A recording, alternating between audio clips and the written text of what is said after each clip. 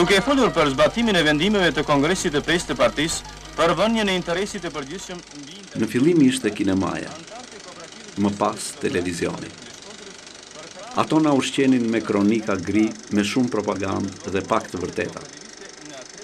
Fjala zhurmues ka ngacmuar në memorien tuaj. Ka bërë zhurmë në skutat e thella të kujtimeve, duke sjellë në imagjinatë televizorin Iliria bardhezi. Një televizor me një bandë të vetme atë të VHF-së. Bandën tjetër UHF e sajuam vetë me atë që quhej kanoçe e grupit. Kështu netëve ngrinim antenat dhe mundoheshim të eliminonim zhurmuesin e kanaleve të huaja televizive. Po cili ishte zhurmuesi që bënte lavazhin e mendjeve tona?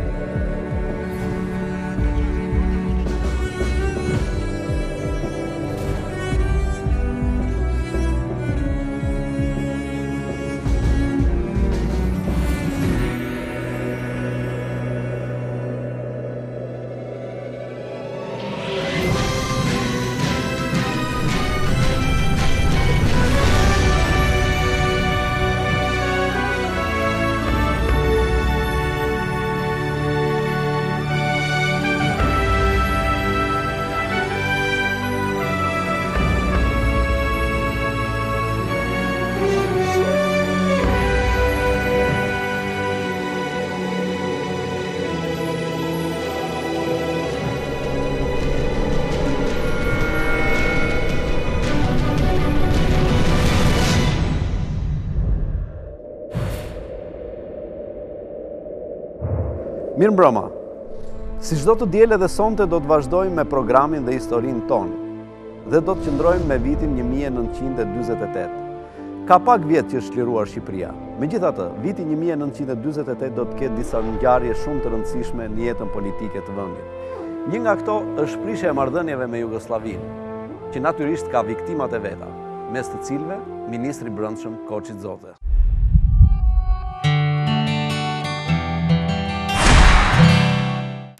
I ftuar sonte në histori me zhurmues është zoti Myftar Tare.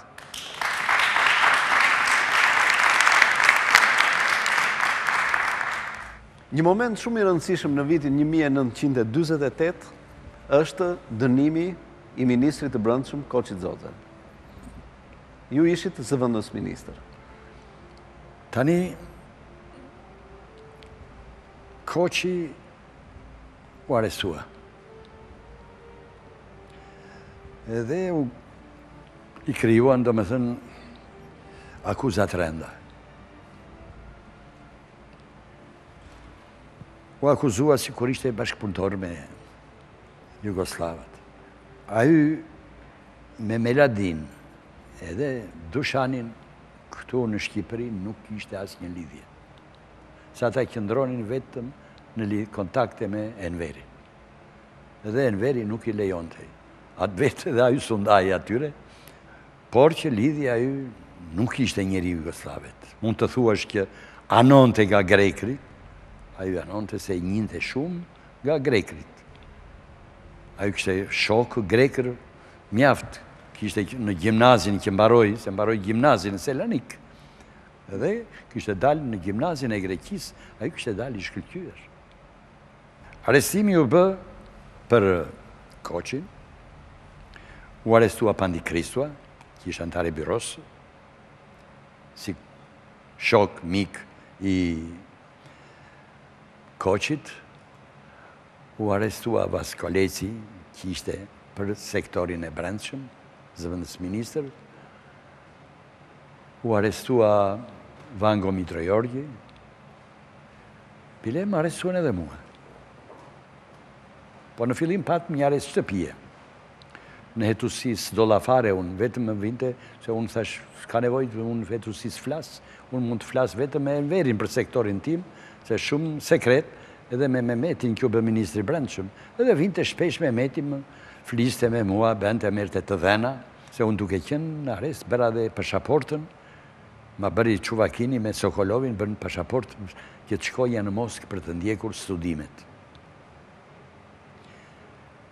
U ngritën, domethënë Bedriu tha mund të dalë ndonjë gjë gjatë gjyqit që do t'i bëjmë Koçit, prandaj duhet edhe ky të rrijë këtu në burg. Pra në hetuesi ju nuk nuk dola unë deklaruat asgjë. Asgjë s'më muarën në hetuesi. Po. Dhe kam dalë nga burgu dola. Nuk më lanë që të shkonja se u ngritën disa oficerë madhorë, disa gjeneralë, thanë që Ky mirë s'do dënohet, nuk del në gjyq, po s'ka pse t'i jepet kjo e drejtë të shkojë në Moskë të studiojë, se dhe ky ka mungesë vigjilence. Edhe për mungesë vigjilence më dhanë një vërejtje dhe shkova në pushtet civil. Aty arriva dhe zëvendës, në rangun e zëvendësministrit. Edhe Në vitin pesëdhjetë e dy, në maj të pesëdhjetë e dysë, mua më kërkuan të ktheheshe në vendin që kisha. Me kërkesën e këshilltarëve sovjetikë. Ministrinë e Brendshme. Ministrinë e Brendshme në sektorin që kisha më parë. Më thirri Mehmeti, me Kadrinë, unë nuk pranova. I thashë unë këtu jam dënuar dhe unë nuk e ndjej mor veten moralisht që të vij të punoj këtu. Domethënë, Nuk gjej forca.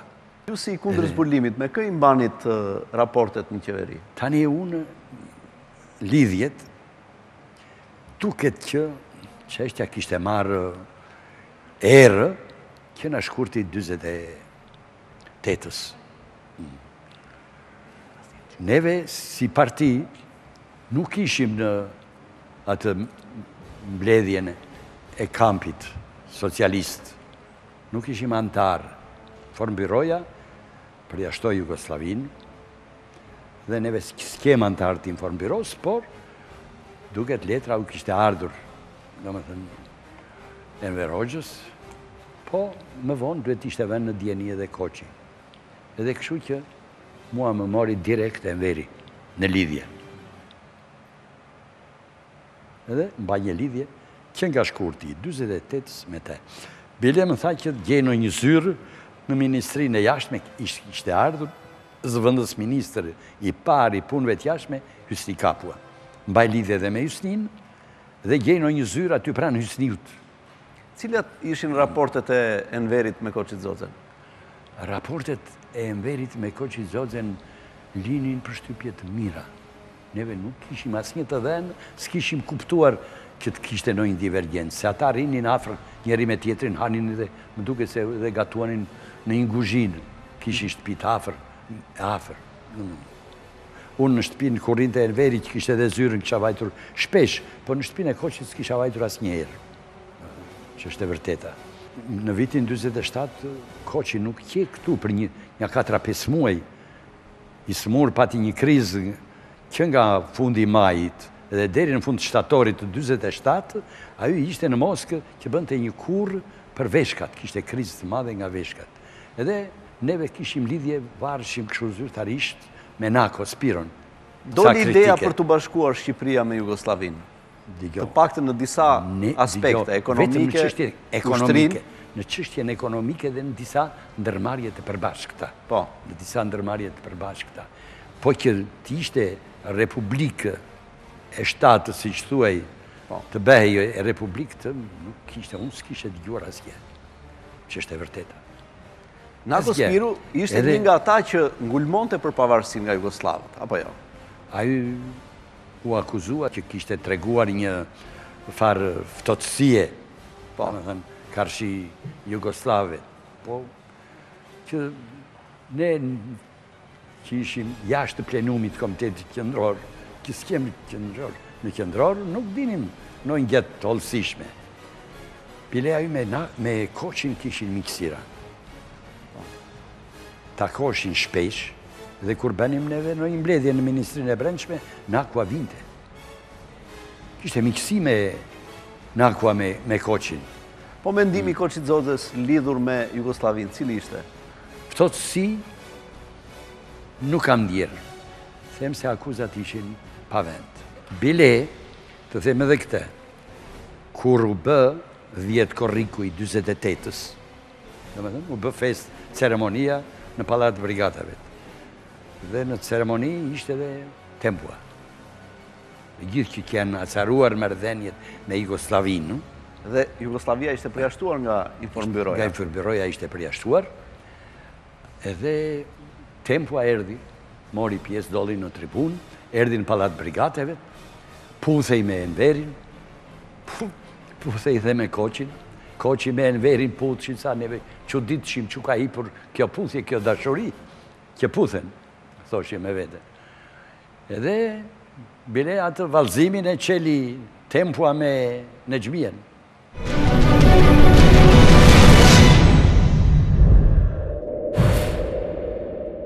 Në nëntor, u bë kongresi i parë, i Partisë Komuniste, i cili mori vendimet e mëdha. Tani unë jam për akuzat që i bënë Koçit, jam në dijeni të plotë, domethënë se po. ato u bënë publike. Edhe mendoj se aty ka ekzagjerime shumë. Çështjen e jugosllavet, po të jesh për mik, sa qe me Titon mik Enveri edhe me këta dhe të tjerët, nuk ishte aju Koçi, Mendohet që ka pasur një tendencë ose një afrimitet të madh Koçi Xoxe ndaj jugosllavëve? Tani dëgjo. Në konferencën që u bë në Berat, konferencë e partisë që u bë në Berat, ku u analizua puna e partisë gjatë luftës, aty pati kritika Enveri. Edhe për një kohë ishin edhe dy të deleguar të Komitetit Qendror të Partisë Komuniste Jugosllave në këtë mbledhje. Edhe u kërkua atje dhe që të shkarkohej Enveri për fajet, e ngarkuan me faje. Edhe dakord tha jam Enveri, tha po sekretar, mendoj sekretar i përgjithshëm të dalë Titua, të vëmë Titon sekretar i përgjithshëm. Atje i pari u ngrit Koçi kundra. Ç'është kjo gjë, tha, ç'është ky përpësim? Ç'punë ka Titua me neve, tha? Të qëndrosh ti, tha, në vendin që ke, vetëm të na pyesësh se deri tani s'na ke pyetur fare. Se ç'do të bësh, se ç'tu e i bërë. Ky ishte qëndrimi i Koçi Xoxes. Ky ishte qëndrimi i Koçit. Më thatë që ju nuk u dënuat. Ishte thjesht Akti vendimmarrës i Enver Hoxhës që mos dënohesh? Enveri di kjo, Enveri mua më ka mbrojtur në mbledhjen, se u tha që, se thanë që e ka vënë Koçi për të vrarë. Tha s'e ka vënë Koçi për po e ka marrë vetë. E kam marrë unë vetë, me nismën time. Edhe ai ka qëndruar me mua. Po t'ishte ashtu pse s'më vrau, unë me të vetë, më kam, kam qëndruar. Po t'ishte më, më vriste mua. Nga ana tjetër, Enverit i folën edhe Çuvakini, edhe Sokolovi. Me cilët ju kishit lidhje të forta? Unë kisha lidhje të forta me ta. Njëkohësisht, me ta folën dhe anëtarët e byrosë politike të partisë komuniste greke. Dhe i thanë, muar vesh, unë më kishin hequr, s'kisha më lidhje me ta dhe isha në burg. Edhe i thonë Enverit, Shiko, i thotë, ju keni futur Myftar Taren, por Myftar Tarja nuk është vetëm juaj, është edhe neve, duhet të pyetim edhe neve. Se është plagosur tek neve, që s'e dinte Enveri fare, asnjeri, s'e dinte që unë isha i plagosur në Greqi. U plagosët gjatë bombardimeve? Gjatë bombardimeve, u plagosa atje në, në, kod, në kodrat e shëm, atij profiti Ilia ishin. Mhm. afër Pindit edhe mbi Konicë, nga bombardimet e Amerikanëve. Këtu e, këtu e, këtu e. Domethënë, po unë s'e di tha kjo të shpjegos, po e, ajo e ka mbajtur sekret, se s'duhet ta thoshte, edhe unë s'e, as ia kam thënë njeriu këtë. Tani po e them këtu, domethënë, përkthyes me këta, me Jani Joanidhin, edhe Vasil Barxhotën, edhe Zaharianin, ka qenë Aleko Çati, sekretar i parë, minoritar ky, që ua përkthente nga greqishtja në shqip. Edhe ma thotë Aleko Çati mua. Kur dola që isha jashtë, ma thotë shiko, i thotë se Kështu ka qenë biseda e grekëve që të mbrojtën para Enverit. Nga viti një mijë e nëntëqind e dyzet e gjashtë deri më një mijë e nëntëqind e dyzet e nëntë në Greqi u zhvillua lufta civile greke mes forcave qeveritare dhe ushtrisë demokratike greke krahu i armatosur i komunistëve. Sipas analistëve, kjo ishte edhe një nga shenjat e para të luftës së ftohtë mes superfuqive, sepse krahu qeveritar në këtë kohë pati mbështetjen e Anglisë dhe Shteteve të Bashkuara të Amerikës. Ndërsa forcat partizane greke u mbështetën nga Stalini dhe në mënyrë shumë të veçantë nga Partia Komuniste e Jugosllavisë, ajo e Shqipërisë si dhe ajo e Bullgarisë. Lufta përfundoi krejtësisht më një mijë e nëntëqind e dyzet e nëntë kur Jugosllavia, një nga furnizueset kryesore me armë të lëvizjes partizane greke, u përjashtua nga Informbyroja, duke ndërprerë lidhjet e saj me bllokun komunist. Por duket që një rol shumë të rëndësishëm në këtë luftë të ketë luajtur dhe Partia Komuniste e Shqipërisë, e cila në misionin e saj për të mbajtur lidhjet me forcat partizane greke, kishte ngarkuar zëvendës ministrin e Brendshëm të asaj kohe. Prishja e marrëdhënieve mes Stalinit dhe Titos solli zëvendësimin e komandantit legjendar Markos, i njohur si Mao Ce Duni helen, me një tjetër udhëheqës, Zahariadis. Në prill të vitit një mijë e nëntëqind e dyzet e tetë, forcat partizane greke mbetën të mbërthyera në kufirin greko-shqiptar pranë malit Gramos. ku pësuan dhe humbjen më të thellë. Falë ndihmave ushtarake që mbërritën nga Jugosllavia dhe Shqipëria, ata tentuan një sulm masiv, por pa sukses.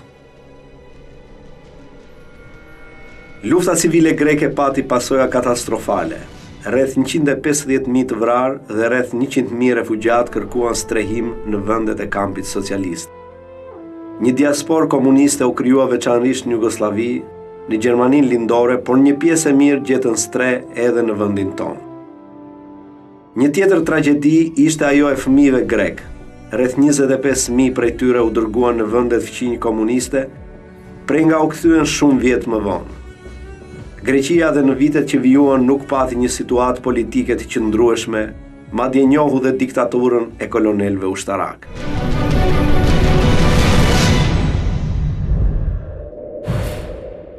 Shkova në Gjirokastër, zvëndës komisar i divizionit të parë. Komandant ishte Islam Radovicka, komisar Bajram Sinojmeri dhe neve mbulonim që nga Leskoviku, nga tri urat e Leskovikut, deri në Himarë, deri në Vlorë. Tërë kufirin, se divizioni tetë i grekëvet ishte me qendër në Janinë. Dhe divizioni tetë, me gjithë forcat e Napoleon Zervës, që dogji Çamërinë, ishin gjatë kufirit edhe bënin provokacione. Vendosët kontakte me forcat partizane greke në këtë kohë? Forcat partizane greke, neve kishim kontakte Që nga dyzet e dyja. Qartë, ëh. Komandant i forcave të partizane greke ishte gjeneral Sarafis. Ai kishte lidhje edhe me shtabin tonë. Prisnim edhe partizanë që na vinin.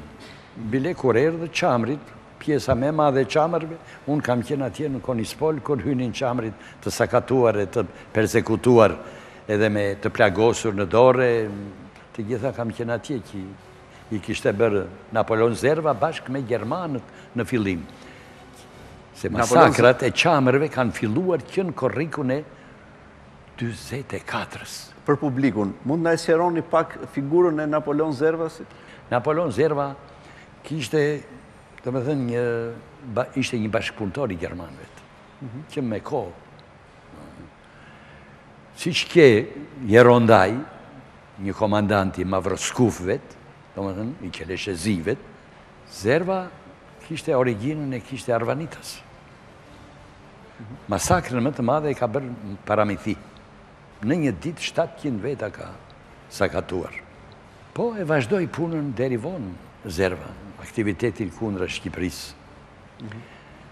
Dhe divizioni 8 bënte provokacione të vazhdueshme mbi neve, kryeministër qe Caldaris, edhe ai monarkist, në Ministrinë e Brendshme kam kaluar në dhjetor të 45. Aty unë ish kisha kundërzbulimin. Sektorin e jashtë. Nuk kisha brenda, nuk s'merrnja vesh se ç'bëhej brenda. Unë kisha sektorin e jashtë. Edhe kisha, domethënë, njerëz Po. Të mi që bashkëpunonin me mua, kisha në Greqi, kisha në Turqi, kisha në Egjipt, kisha në Francë, në Angli, në Itali. Ishte një sektor i krijuar më përpara kundërzbulimi, apo e krijuat ju? U krijua, domethënë, po erdha unë, u po. krijua se ishte qeveri e re, njerën po. tjetër, duheshin udhëzime, organizime. T'ju bëj një pyetje, ndoshta ju vë në pozitë me këtë pyetje. Këta njerëz paguheshin normalisht apo e bënin për patriotizëm? Njerëzit kishim dërguar neve paguheshin. Po. Se s'kishte kush t'i mbante. Po. U dërgonim pak. Po. Po, me këta lidhjet i mbanim neve nëpërmjet jugosllavëve. Se jugosllavët kishin përfaqësi. Neve nuk ishim njohur si shtet. Qartë. Nuk na njifnin. Edhe në ambasadat e Jugosllavisë, ata dërgonin raportet e raportet na vinin neve nëpërmjet jugosllavëve. Për shembull, neve në Egjipt kishim a kishin afruar dhe miqtë. Domethënë kishin u miqësuan shumë këta njerëzit tanë me shqiptarët në Egjipt, me shqiptarët në Turqi, shqiptarët në Amerikë. Domethënë ai njeriu jonë vinte edhe ne Noli, takohej edhe me Nolin. Qartë. Domethënë Po njihej si shqiptar. Po. Pa i thënë se ç'funksione ka, e pse ka ardhur, e pse... Derisa u krijua rrjeti i gjithë kundërzbulimit. Po. Kur u emëruat ju zëvendësministër i Brendshëm? Unë vajta në dhjetor të 45-ës. Po. Ministrinë e Brendshme, përgjegjës i këtij sektori, dhe zëvendës pastaj kur fillova Që të krijoj lidhjet me me grekrit, unë kalova në zëvendësministër. Se se u bë e domosdoshme partizanët të vendoseshin lidhje me grekët? U zgjerua shumë puna me grekrit. Se grekrit që kishin ikur, njerëzit partizanë dhe kuadrot e tyre, ishin mbledhur shumica në Jugosllavi, në Bulqes. Në maj të 45-ës U krijua çeta e parë mas shkatërrimit të çetavet partizane, filloi të krijoheshin çetat e reja partizane në Greqi. Në Greqi. Dhe çeta e parë është krijuar në zonën e Janinës, në malet e Murganës. Sekretari kryesor i Janinës, i qarkut Janinës, vjen këtu në Shqipëri Leonidha Raftis. Leonidha Raftis Erdhi këtu dhe kërkonte ndihma. Kam njëzet veta gati që të bëjnë çetën. Kërkoi armatime, nga të gjitha drejtimet, domethënë armë, municione, i dhamë, edhe e nismë. Komandant kishte Petritis. Petriti ishte pseudonimi i tija. Petritis ishte komandanti i çetës. Ranë ata në përpjekje. Vazhduan kohë. Në qershor vjen një çetë e parë nga Vojvodina, nga Bulkes. Vjen nëpërmjet Manastirit dhe hyjnë vijnë në Korçë. Në Korçë marr kontakt unë me ta. Në krye të këtyre ishte Janulis. Janulis ishte oficer Po ai kishte mbaruar drejtësinë dhe kishte qenë sekretar i përgjithshëm i kryeministrit Filip Dragumis, ishte kryeministër dhe kishte sekretar Janulisin. Ky ishte një komunist, një shok shumë i mirë dhe vajti krijoi çetën e parë, i solli një pjesë, mobilizoi të tjerë andej. Me Janulisin qe edhe një shok tjetër, Kikica. Ky ishte oficer i karrierës, Bile kishte marrë pjesë edhe në luftën greko-turke, domethënë 1923. Edhe kështu, u krijuan brigata, u krijuan divizione, të gjitha domethënë ne vazhdonim, i ndihmonim këta. Në fillim iu jepnim armë neve, në fillim qershorit erdhi Januli me Kikicën, Marko erdhi nga korriku i 46-ës. U fut. Erdhi Marko, e kam shpënë unë e shpura në Dardhë, nga Dardha Nikolicë, nga Nikolica e futa deri në Gramos, fshatin Gramos. Marko nga erdhi? Nga Jugoslavia. Nga Jugoslavia. Nga Jugoslavia. Pra ju ishit njeriu i kontaktit mes komunistëve shqiptarë dhe lëvizjes lëvizjes partizane greke. Me qeverinë e Markosit. Dhe qeverinë e Markosit. Pata isha pranë tyre. Po. Kështu vinja, shkonja, Bile, domethënë, se filluan që t'i vinin ndihma, i jepnin dhe jugosllavët, se ishin marrëdhënie të mira. Për shembull, anëtar i komitet, i byrosë politike ishte një maqedonas, Goçevi. Vetëm me armë e ndihmonte qeveria shqiptare lëvizjen greke? Edhe me ushqime, u jepnim dhe ushqime nga ato pak që kishim, armë dhe veshmbathje, se na vinin nga UNRRA neve, u jepnim edhe atyre, se s'kishin. Po. S'ishin lidhur akoma me qytetet e tyre që të lidhëshin mirë. Përse ishte qeveria shqiptare kaq e interesuar për lëvizjen partizane greke? Tani, kjo...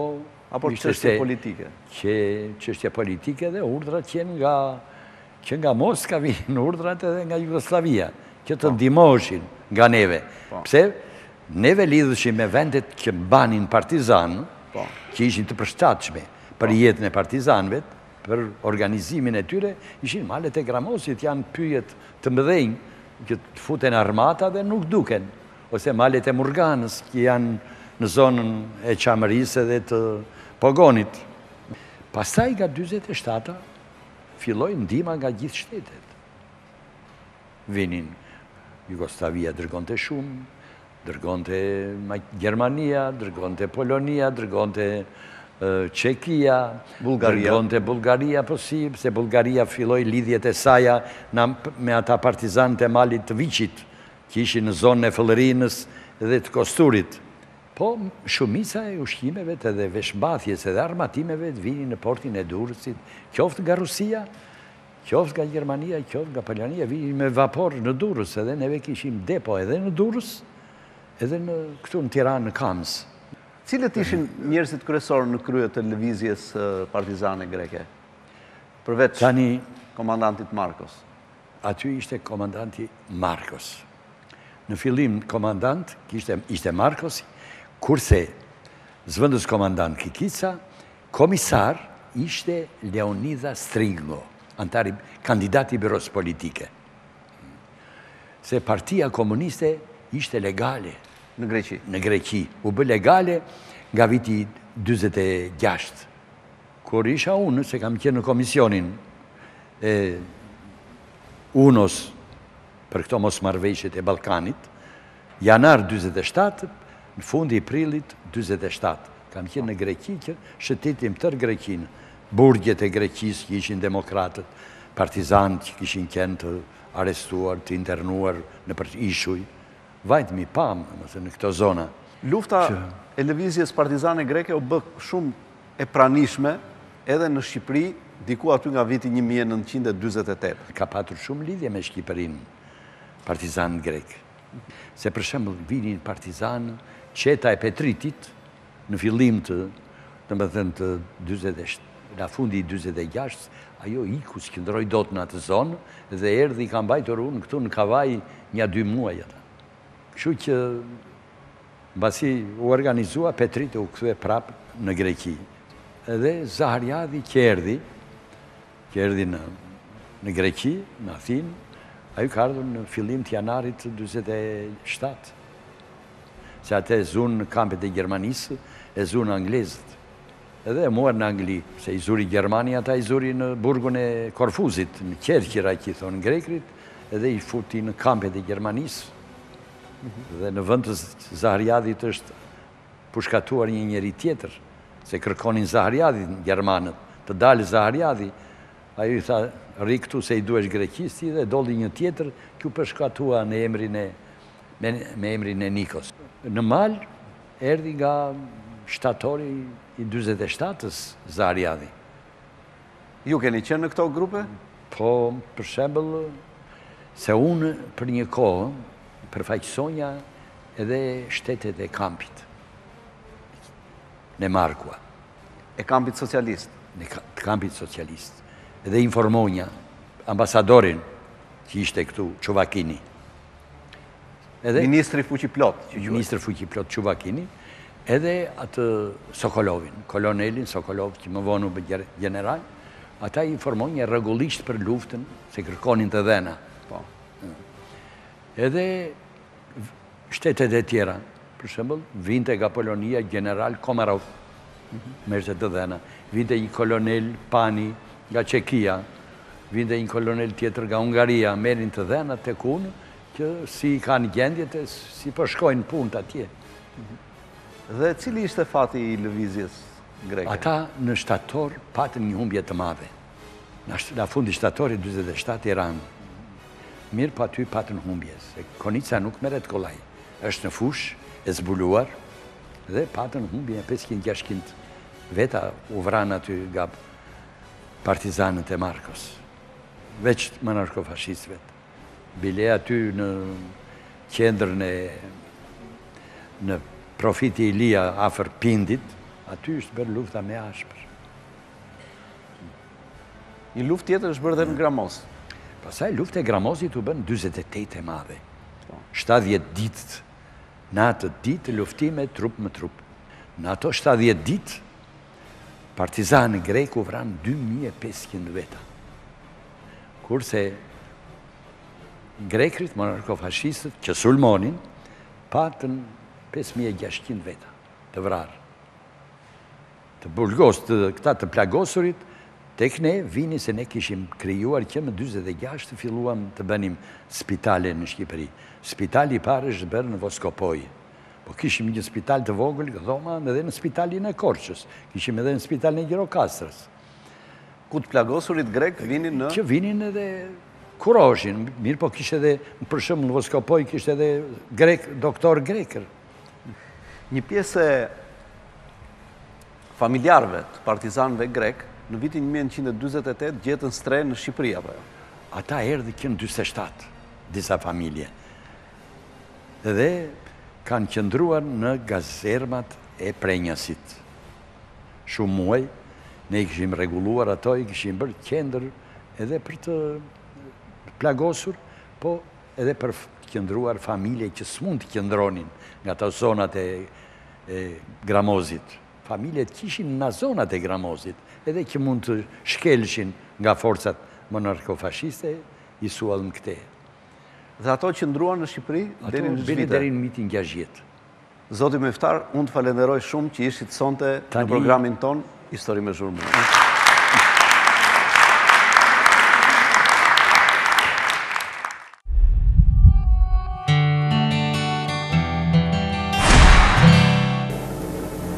Përtej tij, shfrytëzim dhe shtypje, atje derdhet gjaku i luftëtarëve për liri.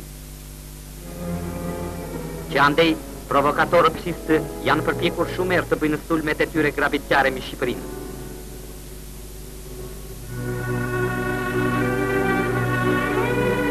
Shpesh, që andej, si nga një e kaluar e tmerrshme, vijnë njerëz që u ngjajnë fantazmave. Këta janë dëshmitarët dhe viktimat e regjimit monarko-fashist të ngritur në Greqi prej anglo-amerikanëve.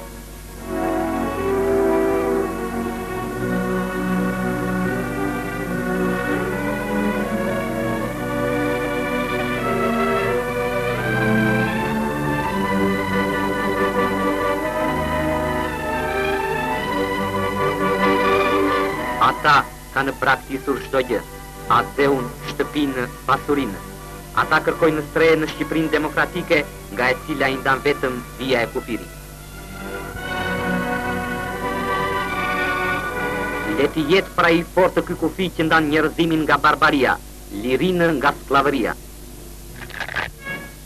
Prindërit e këtyre fëmijëve edhe sot e kësaj dite e vazhdojnë luftën. Këta janë bijtë dhe bijat e demokratëve grekë. Shqipëria u ka bërë vend në gjirin e saj dhe punonjësit japin për ta një pjesë të mundit të tyre të përditshëm. Ata nuk jetojnë në tokën e tyre amtare, por ata rriten të lirë, ashtu si fëmijët e atyre grekëve që gjithnjë kanë jetuar dhe jetojnë në Shqipëri.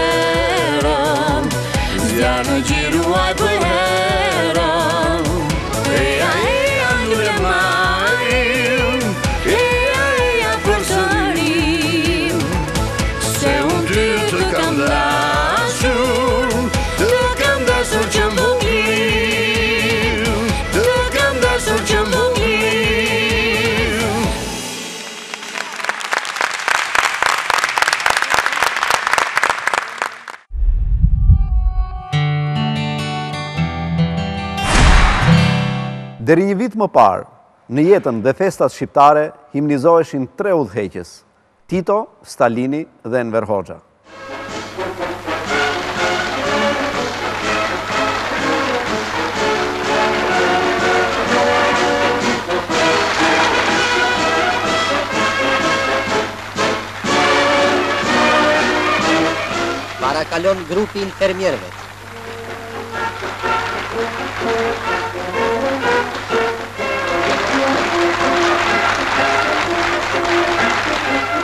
Mbas tyre parakalojnë me radhë punëtorët, katundarët dhe gjithë populli mbarë.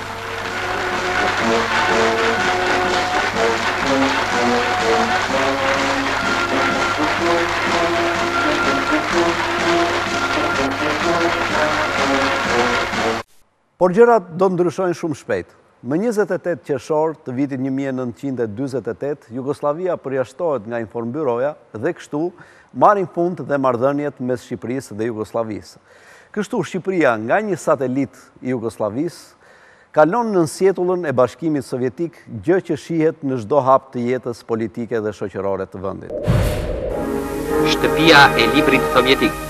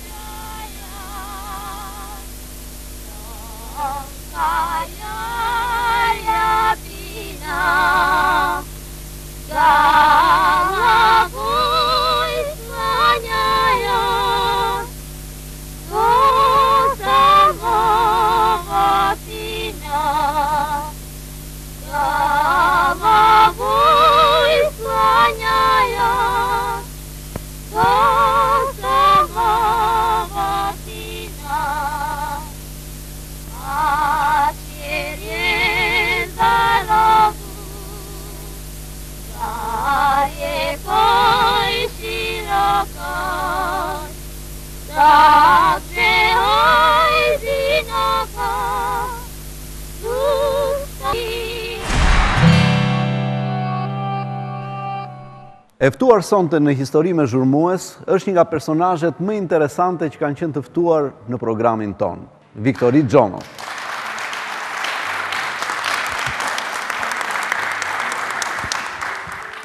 Në vitin 1938 fillon transmetimet zyrtarisht Radio Tirana. Si ndodhi që ju u gjendët në radio atë ditë që filluan transmetimet zyrtarisht? Është folur shumë për krijimin e Radio Tiranës më njëzet e tetë nëntor një mijë e nëntëqind e tridhjetë e tetë. Unë hyra në radio rastësisht, mund të them. Disa javë përpara të pregatiteshe inagurimi i Radio Tiranës, sigurisht drejtori që drejtonte radion, që ishte Gjergj Bubani, ishte i preokupuar që ky program do të pasuroje, duheshin muzikantë, duheshin spikerë, duheshin redaktorë për të dhënë lajmet. Dhe ai bëri shumë sondazhe të tilla. Dhe një gjë që i mungonte radios, ishte një grup i vogël, i një kori të vogël prej vajzash dhe djemsh.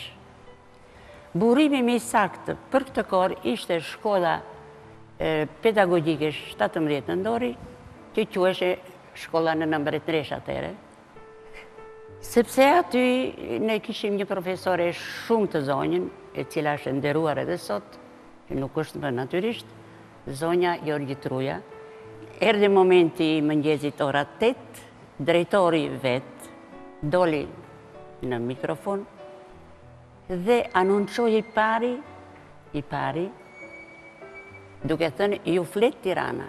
Në atë moment, U transmetuan këngë patriotike, sigurisht, dhe këto këngë patriotike, du them diçka që është shumë interesante, në balkonin e bashkisë ku ishe ndërtesa e radios, ishin vënë dy altoparlanta. Njëri në drejtim të rrugës Durrësit, tjetri në drejtim të rrugës Kavajës. Kështu që në këtë kor, bëja pjesë edhe unë. U bë manifestimi, ishte një gjë shumë e bukur, shumë emocionale, shumë entuziazëm në popull, se ishte dita e 28 nëntorit, të cilin ne festonim shumë, atere. Sot nuk festohet shumë, atëhere festohej. Ishim veshur me bluza të kuqe, me fund të zi, djemtë me një kapele me shirit kuq e zi, Kështu që ishte një ditë e veçantë për të gjithë qytetarët e Tiranës. Ky ishte fillimi, mbaroi manifestimi dhe aty i lindi një mendim drejtorit Gjergj Bubanit që ne kemi nevojë për këngëtare në këtë radio. Atëhere,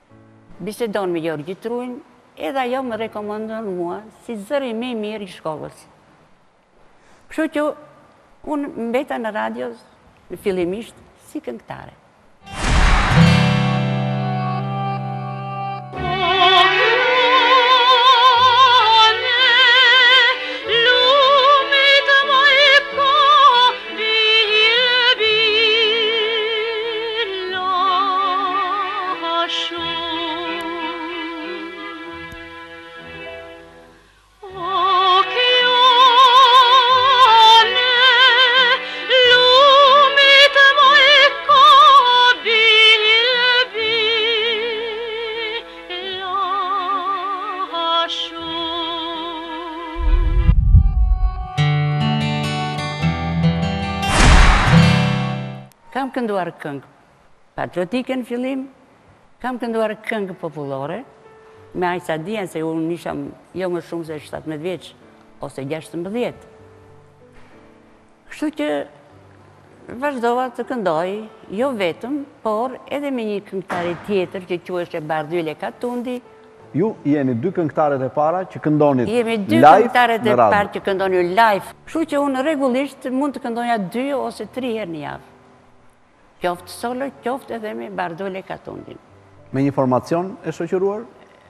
Kishte një grup kitarë, violinë, kitarë havajane që ishte në modë atëhere, e një familje Cini, që tani nuk janë më asnjëri prej tyre, dhe ishte Pjetër Gjini, një nga punonjësit më të mirë që ka punuar me të vërtetë me me dashamirësi për radion, ai loste kitarë dhe shumë herë te këngët tona shoqëroheshin me këta, ose me kitarë, ose me atë grupin. Pak më vonë, erdhi një pianist që quheshe Pjetër Dungu, dhe që atëherë na shoqëronte ne ai. Ndërkohë, ndërkohë, Nga Korça, nuk e di me çfarë interesimi, vjen një vajzë tjetër e re, pesëmbëdhjetë vjeçe, quheshe Merita Sokoli, me një zë shumë të bukur, dhe ajo u fut në grupin tonë, u bëm tri këngëtare. Edhe ajo këndonte edhe solo, edhe duet ose trio. Do të thoni juve çfarë këngë këndonit? Ishin këngë popullore në radhë të parë, ishin këngë qytetare, këngë të lehta, por melodioze. Këngë korçare të shkruar nga disa kompozitorë që ndoshta emrat e tyre sot nuk duken më dhe unë nuk i mbaj mend, por ama fakti që këndonim live, direkt, në mikrofon ose në skenë live, kjo kishte rëndësi të madhe. Në konservatorizmin dhe fanatizmin e asaj kohe, ju kishit probleme me familjen tuaj për të shkuar në radio?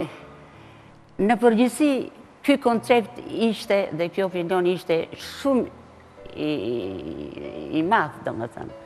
Por unë kisha, isha me baban tim përparimtar, ishte gazetar, Dhe sapo i thashë unë që më kanë caktuar në radio për të kënduar, ai jo vetëm që e aprovoi, por u gëzua shumë. Dhe më la të lirë të vija kur të doja në radio. Mbaroja mësimet në drekë, menjëherë vija në radio. Shikoj ça ka këtu, më keni vënë program mua, edhe filloj të bënja edhe provat, natyrisht. Mbasi hyra unë në radio, babai im filloi të bashkëpunonte me Radio Tiranën, se ishte shkrimtar, domethënë gazetar dhe publicist. Dhe unë lexonja disa shkrime të tija. Tashti isha definitive pothuaj si këngëtare. Por ama mungonin spikerët. Ishte vetëm një redaktor që jepte lajmet dhe nuk ishte kush ta anonçonte programin, një program të shkurtë, mund të qe çerek ore, gjysmë ore. Atëherë më thotë drejtori i radios moj, Viktori, po hyr ti njëherë provo. Ta anonçosh ti se jemi në vështirësi. Kështu kam hyrë në radio, domethënë si spikere. Ikte ai që Jepte lajmet, atëherë i afrohesha unë mikrofonit, jepej një program, çfarë do të jetë këngë popullore, apo jo, dëgjues të dashur, do t'ju japim sot një program me këngë popullore dhe anunçonja unë. Dhe pastaj, kur mbaronte ora e drekës, orari i radios, thosha, ju flet Tirana, dëgjues të dashur, Emisioni i mesditës mbaroi, do të shihemi përsëri në orën tetëmbëdhjetë të masditës. Ky ishte puna e spikerit që kam bërë unë. Nuk isha spikere definitive, nuk isha punonjëse. Po. Edhe në fakt unë nuk paguhesha se isha nxënëse. Mbarova maturën, mbarova maturën dhe me propozimin e Mësueses time Jorgjia Truja me insistimin e saj, meqë kisha zë të bukur, erdhi në shpinë tonë te babai, thotë, Viktorin duhet ta çoni për kanto në Romë, thotë, sepse gjynah që ka një zë të bukur e mos e humbasi. Unë isha e pasionuar pas muzikës. Kisha bërë pak violinë, kisha bërë pak solfezh me zonjën Truja, ishte një mësuese e dalluar për në atë kohë. Na futi në shpirt muzikën, popullore, muzikën klasike, dhe kur vajta unë në Romë, në vitin 40, u paraqita në konservator, po të them një veçori, u paraqita për t'u provuar si këngëtare, si zë, dhe profesori më thotë, brava Viktoria, thotë, Ku keni studiuar ju muzikë, thotë, notat, si i njifni? Se atëherë jepin një solfezh kantato dhe parlato, ju i dini se ç'do thotë. Dhe unë i lexova shumë bukur, edhe një arje nga operat e Mozartit. Kështu që unë u pranova në konservator si studente. Në cilin konservator? Konservatori ishte Santa Cecilia. Në Romë? Në Romë. Kishte shqiptare të tjera aty? Kishte Merita Sokoli, kjo që po jua them unë, e cila mori një bursë nga Jakomoni, para meje në 39-ën, dhe ajo vajti në konservator u pranua, me zë të bukur sigurisht, kshu që ne të dyja ishim për kanto, bëra vitin e parë në konservator, u ktheva në verë, Natyrisht unë menjëherë mendimi im i parë ishte të vinja në radio. U paraqita në radio, më thotë drejtori që ishte akoma Gjergj Bubani. Tani tha do të këndosh këtu patjetër, po si jo thashë, mua më interesonte. Njëherë pse ishte kënaqësia ime që të këndoja, e dyta se edhe atëherë paguhesha pastaj. Se dhe diçka fitoja edhe e përdorja për harxhime të mia në në Romë, se unë s'kisha bursë. Kështu që gjatë verës, kur isha në pushime, unë këndoja. Mbas lufte, ju erdhët dhe u vendosët përfundimisht në Shqipëri. Mbas luftës, kam ardhur vonë në gusht, kur ishte aty afër kapitullimit të Italisë, me mendimin që do kthesha prapë. Për fat të keq, unë nuk u ktheva më, mbeta në Shqipëri.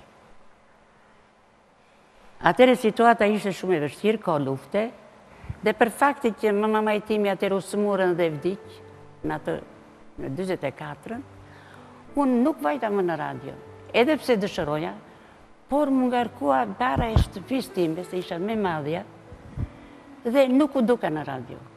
Në nëntor të 46-ës, Tamam. Vjen dikush në shpinë time, thotë Viktori thotë Radio Tirana ka shpallur një konkurs për spiker. Janë këto kërkesa, të kesh bërë shkollë të lartë dhe të dish dy gjuhë të huaja ose të paktën një. Unë këto kërkesa i plotësoja, sepse dija italishten, dija edhe pak frëngjishten, nga babai tim. Konkurova dhe fitova në 80 veta, fituam dy. Unë dhe spikeri Haki Bejleri që pastaj u bë një nga spikerët më të mirë të Radio Tiranës. Në ndërkohë, më tha drejtori, thotë, Viktori, ti ke studiuar Për kanto, ne kemi dokumentat për tre vjet, duhet të këndosh.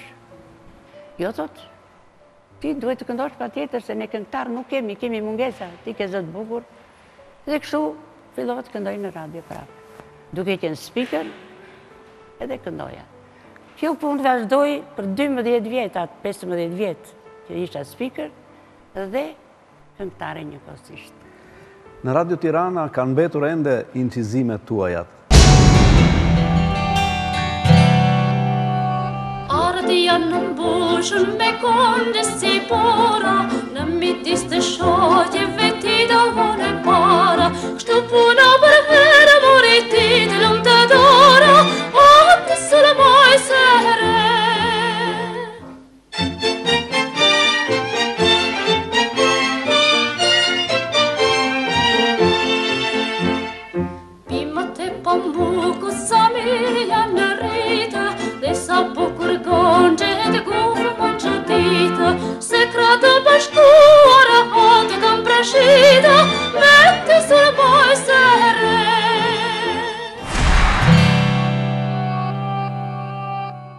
Kam incizuar shumë kënga në atë kohë. Edhe pse nuk kishte mundësira incizimi, regjistrimi, domethënë, se s'kishte magnetofon, ishte disku që përdorej, orkestër nuk kishte, ishin vetëm amatorë që u mblodhen nga qytete të ndryshme, sigurisht me interesimin e drejtorisë, dhe u formua një farë orkestre në Radio Tirana. Me atë kam kënduar shumë, Dhe ato këngë që kam incizuar atëherë janë edhe sot. Jo të gjitha, se unë kam kënduar shumë në atë kohë. Mungonin këngëtaret. Pastaj më vonë erdhën këngët popullore, erdi orkestrina e Shkodrës, erdi Luçie Miloti, erdi Bik Ndoja, që u plotësua. Më vinte të këndoja tri herë në javë. Bile ju tregoj diçka interesante, Në orën gjashtë e gjysëm unë isha në bulevard, duke shëtitur me një shoqe, dhe altoparlanti ishte vendosur në bashki si gjithmonë, ishte lënë. Kur vajti radio në rrugën e Kavajës, flas kështu, dhe jep programin e masditës e thotë, në orën 8 pa njëzet, program këndon Viktori Xhaçka. Unë nuk e dija. Dëgjohej altoparlanti gjithë kohës në shesh. Po, Unë u habita thashë, unë këndoj, s'më kanë thënë asgjë tash, si t'ia bëj? Vrap, shkoj te Valire Drenova, i them, më kanë vënë në program, ça të bëjmë? Unë një farë repertori e kisha, dhe e pregatitëm dhe vajtëm në mikrofon këndova, domethënë, ishin, domethënë, kaq shumë këndoja, sepse isha e rralë, në atë kohë.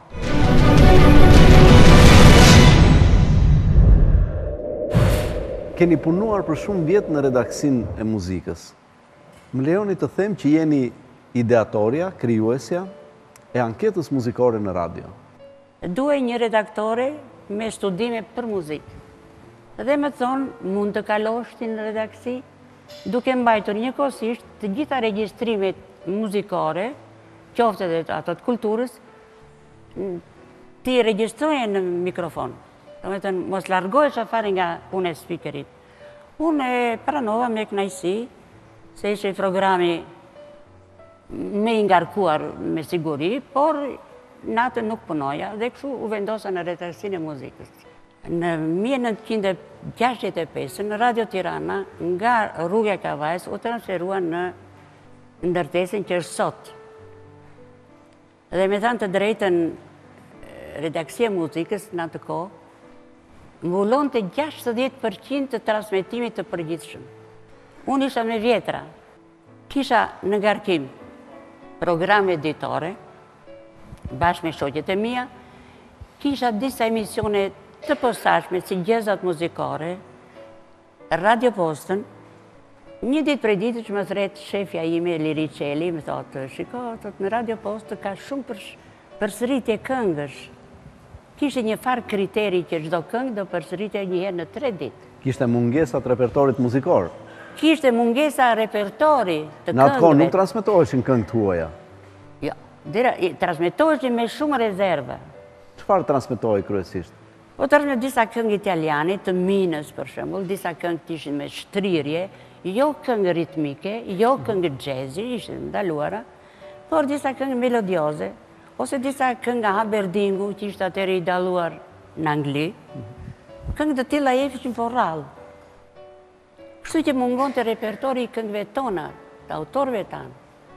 Dhe më thotë, more ti, thotë, ke përsëritur shumë në Radiopostën, unë i them, shiko, shoqja, liri, nuk tu nuk ka justifikim, sepse, për shembul, në një repart të kombinatit, ka një sukses, Edhe më shkruajnë për këtë sukses ne përshëndesim filan repart po me këtë këngë e cila ishte transmetuar një ditë përpara. Unë do t'ia plotësoj dëshirën atyre se atë kërkonin. E kjo ishte një farë që kishim një farë debatin e me, me shefen. Atëherë unë çfarë bëjmë, mendoj në shpinë time. Si t'ia bëjmë që të shtohet repertori i këngëve, me autorë? Dhe vete te shefja i them shiko unë dëgjoja Italinë atëherë, me thënë të drejtën. Dhe Italia jepte kënga më e mirë e muajit. Edhe unë mendova, pse mos bëjmë edhe ne një këngë? Kënga më e mirë e javës. Se ato repertorin e kishin më të pasur se ne, ne ishim të varfër shumë. Dhe i them, shiko shoqja Liri unë kam këtë mendim, që të shkruhen këngë nga kompozitorë, që të nxisim kompozitorët të shkruajnë këngë, do të bëjmë një program, e thotë shumë bukur, do ta bisedoj me krijimtarinë muzikore, thotë, dhe të shohim nëse vendosim. U bë reklamimi i anketës muzikore, duke ftuar kompozitorët të shkruajnë sa më shumë këngë të reja, se do jepeshin katër këngë të reja gjatë javës, të, të dielave, dhe në të dielën e ardhshme do jepeshin katër këngë të tjera të reja, plus këngës fituese të anketës. Kështu që unë pregatita tekstin, e reklamova në radio, dhe mbeti, domethënë, në ngarkesë, domethënë, mbeti imja anketa muzikore. Aq sa një Aleksandër Lalo, kur e shikoja në rrugë, më thotë, e, anketa!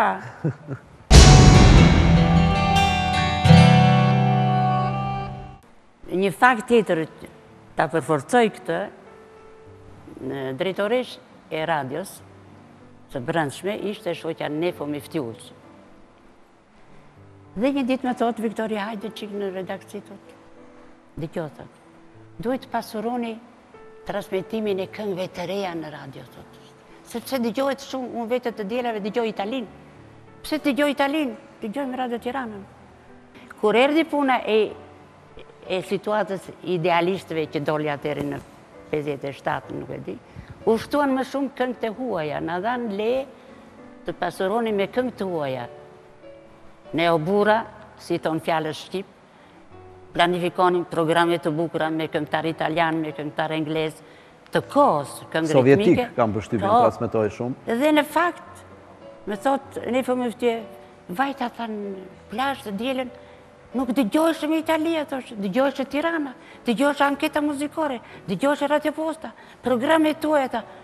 Unë ju përgëzoj, vajza. Ne ato shoqe ne, po. Dhe mbeti anketa muzikore, krijimtaria juaj. Nuk mora asnjë emër, sepse atëhere nuk thuhej që kush e pregatit, ose kush ishin, ne ishin dietro le quinte, si thonë. Asnjë shpërblim. As, as nuk bëheshe. Po më keq, as po keni marrë asnjë dekoratë. Plus, këtyre që thashë deri tani, unë bëra telereportazhe Në të gjithë pothuaj krahinat e vendit tonë. Kam vajtur që nga Burreli deri në Sarandë me magnetofon që peshonte edhe 15 kile me autobus, domethënë ishin telereportazhe që unë bëra punën e gazetarit këtu. Unë do t'ju ftoj të dëgjojmë një sigël muzikore që besoj duhet t'ju kujtojë diçka.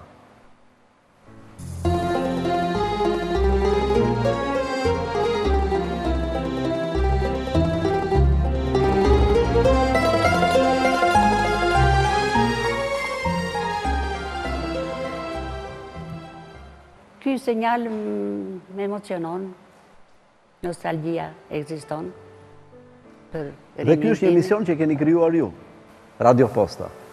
Radio Posta ishte tjetër. Radio Posta unë e kam mbajtur gjithmonë. Edhe pasi kam dalë në pension, e pregatisnja unë dhe e çonja materialin në radio për ta transmetuar. E lexonte Feridea, spikere shumë e mirë, edhe më vjen keq bile që radio edhe televizioni nuk E ka përkrahur shumë. Do të kthehemi përsëri në jetën tuaj pranë radios.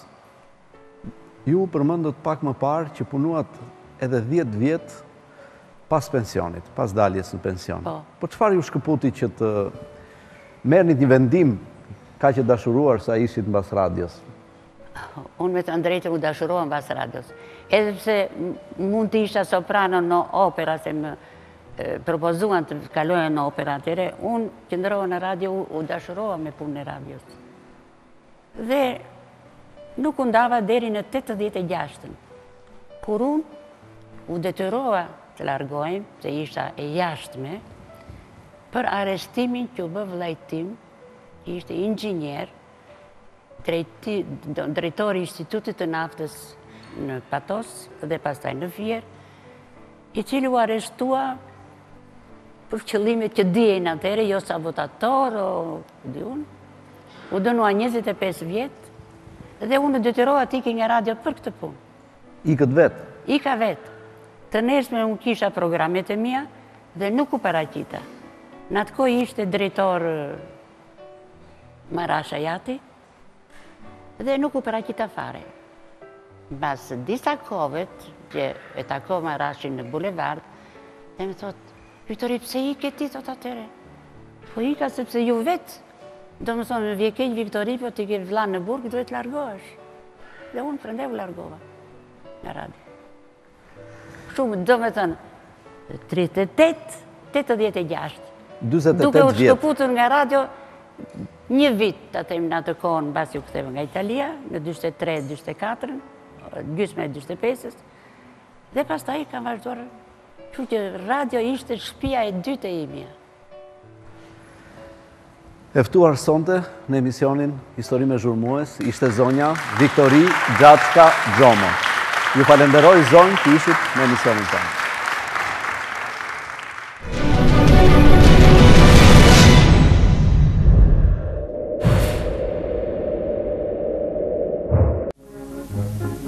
Prindërit e këtyre të vegjëlve luftuan me armë në dorë për t'ua bërë fëmininë të lumtur. Atdheu i lirë kujdeset për edukimin dhe argëtimin e brezit të ri që hedh hapat e para në jetë.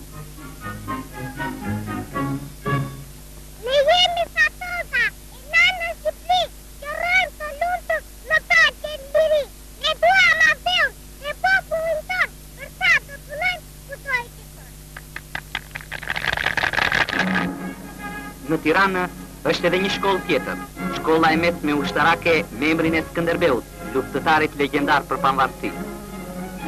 Shumica e këtyre djemve janë bij dëshmorësh të rënë në betejat për liri. Shumë prej nxënësve të shkollës kanë marrë vetë pjesë në lëvizjen partizane.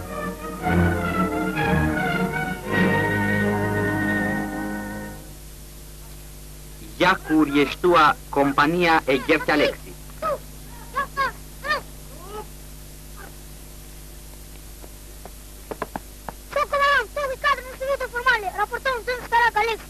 Faleminderit. Stop. Çka ke façi?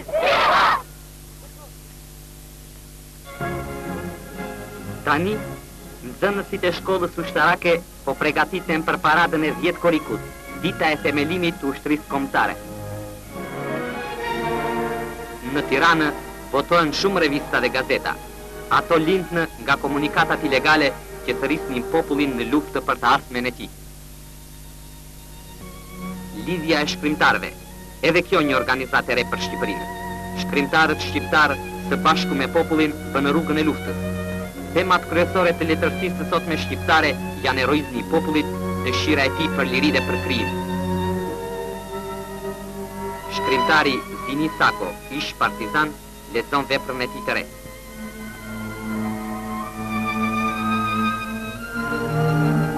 Në Shqipëri, nuk ka patur teatër. Tani në Tiranë është krijuar Teatri Kombëtar, në repertuarin e tij pjesë të shkrimtarëve shqiptarë dhe sovjetikë.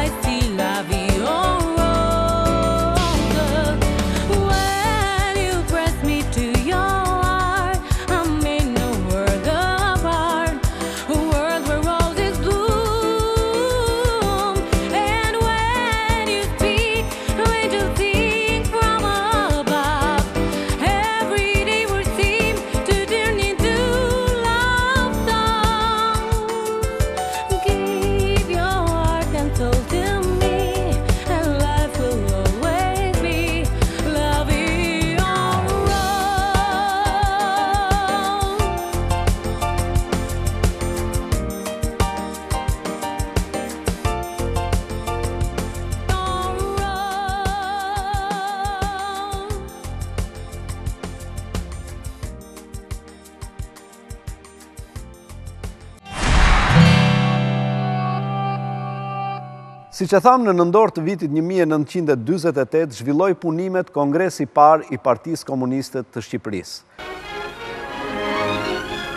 Tirana, si në ditë feste, Ashtë zbukuru kryeqyteti i Shqipërisë për nder të Kongresit të parë të Partisë Komuniste Shqiptare.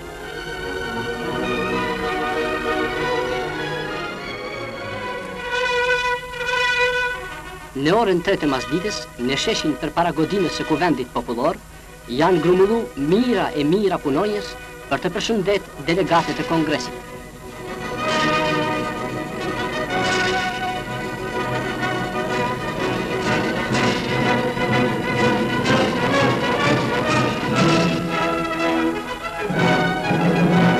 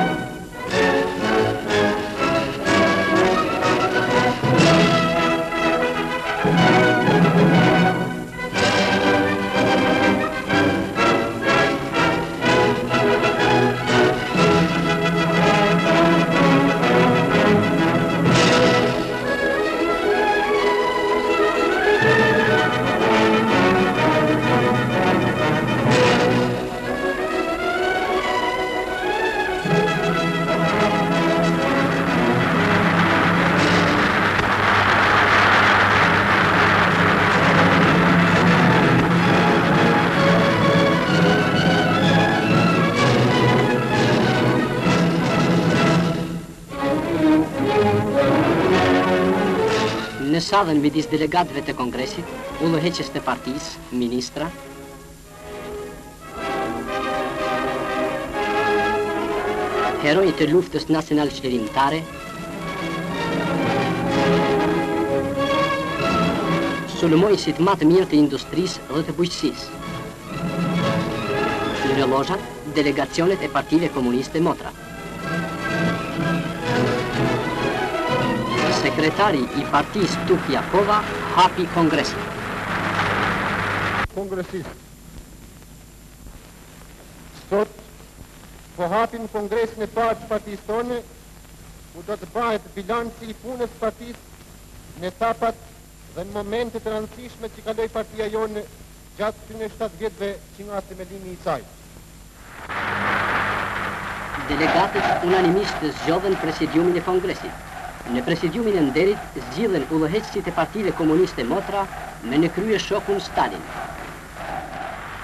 Fjalimi mbi luftën dhe punën shtatëvjeçare të Partisë Komuniste Shqiptare, si dhe për detyrat e reja të saj u majt prej Sekretarit të Përgjithshëm, shokut Enver Hoxha.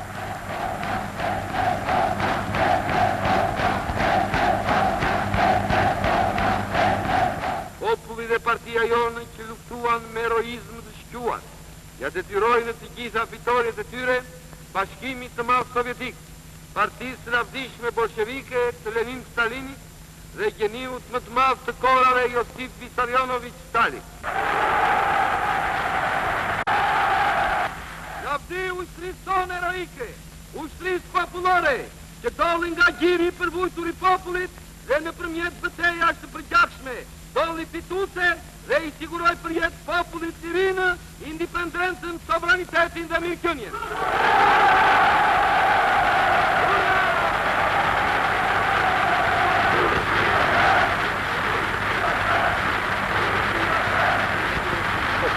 Kongresi i parë i Partisë Komuniste Shqiptare, që u zhvillu në një atmosferë ngritje politike dhe entuziazmi, zgjodhi Komitetin Qendror të ri dhe ndryshoi emrin e partisë në Parti e Punës e Shqipërisë. Kongresi me entuziazëm të madh i dërgoi telegram përshëndetjeje udhëheqësit të popujve shokut Stalin.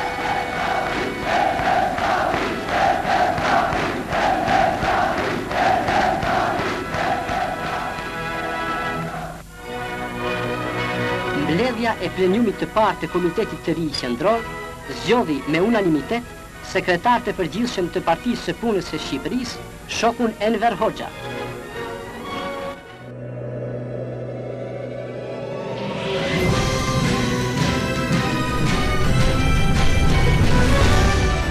Ky kongres zgjodhi dhe byronë politike të përbërë prej tetë vetësh. Cilët ishin këta tetë anëtarë? Enver Hoxha, anëtar dhe sekretar i saj deri ditën e vdekjes më një mijë e nëntëqind e tetëdhjetë e pesë, Tuk Jakova, dënuar me burgim me njëzet vjet dhe vdekur në burg në rrethana të dyshimta më një mijë e nëntëqind e pesëdhjetë e nëntë, Mehmet Shehu, cilësuar poliagjent dhe vetëvrarë në rrethana të dyshimta më një mijë e nëntëqind e tetëdhjetë e një, Bedri Spahiu, u dënua me burgim më një mijë e nëntëqind e pesëdhjetë e tetë.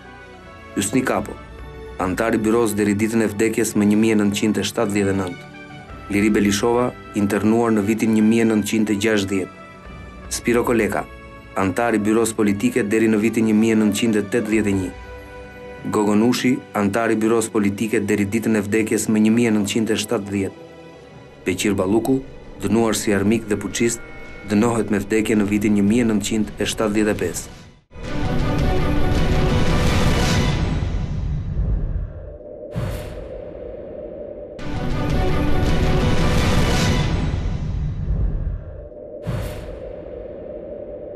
I ftuar sot në Histori me zhurmues është babai I një prej viktimave në kufi, zoti Nikoll Plumbi.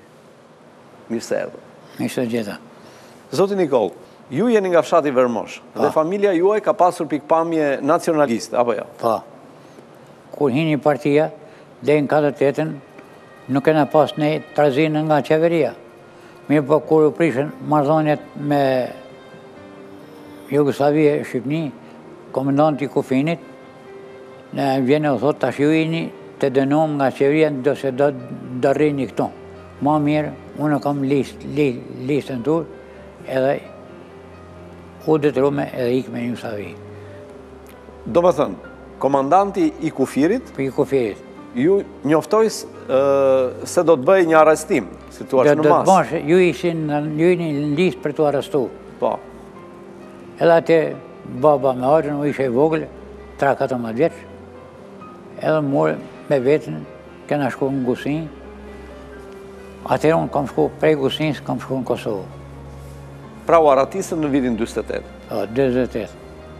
Kam vazhdu shkollën në Pejë, kam kry shkollën e mesme, manej prej Pejet kam shku në shkollë degën elektroteknike, inxhinieri elektrike në Beograd nja dy vjet.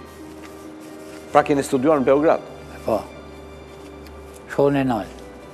Ma pas, masi kam rogë shkollë, kishim nanën në Shqipni, Edhe ne ishim simbas ligjit që kishte dalë gazeta amnistia, s'kishim ba, s'kishim marrë pjesë në asnji sen kundra asaj, kundra asaj qeverie, për në qeverisë Enver Hoxhës.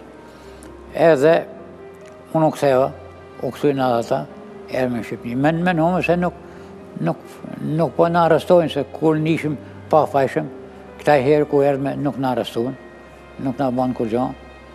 Na lanë, mu më çunë atëher, arsimtar më çunë, edhe pse kishëm kry shkollë tjetër, degë tjetër, çunë Mirditë. Pra, dëgjuat për amnistinë që u bë në ato vite? Po, e dëgjum. Që të gjithë arratisurit do të konsideroheshin, jo, jo, do të jo, faleshin? Jo të gjithë. Po. Ishin me emna ata që nuk kishin të drejtë. Mhm. Kishte dalë gazeta, Me emna, këta, këta s'kanë drejtë me u kthy. Të tjerët, po. Të gjithë të tjerët mund të ktheheshin. Po, të tjerët që s'kanë marrë me i fjalë, s'kanë marrë nuk kanë kenë spjenarë kundra qeverisë komuniste, kundra qeverisë Enver Hoxhës. Dhe ju u kthyet në fshatin tuaj? E ne u kthyem në fshatin. Gjatë periudhës që ju keni qëndruar në Jugosllavi, keni mbajtur kontakte me familjen? Po, kam pas kontakte, si s'kam pas me babën, me axhën, vazhdimisht. Këta rrishin ma tepër në Mal të Zi, unë kam nejtë Ka ana e Kosovës. Kosovë. Po me familjen këtu në Shqipëri? Ja, s'kena pas kontakt. Kë kishit lënë ju këtu në Shqipëri? Kë kishim lënë ne, ka kenë nana eme, nusja e axhës dhe dy varzat axhës. I kanë kenë të internume Tepelenë. Pra familjen tuaj, mbas arratisjes tuaj, e internuan Tepelenë? Tepelenë. Shpia që e kishim n'Vermosh e tokën, e kishin marrë dikush tjetër, punu tjertë, kush, kush ka mujë. Po prona kishit pasur? Po, kena pas toka dhe shpi. Dhe ishte konfiskuar, besoj? I konfisku, ma, ma vonë, masi erdhëm në Shqipni i konfisku. Masi maru me shkollën, qeveria jugosllave thotë në qoftë se do me hi n'punë, duhet me marrë nënshtetësinë jugosllave, Unë nënshtetësinë e saj nuk e pranosha. Atëherë thashë po shkoj në Shqipëni.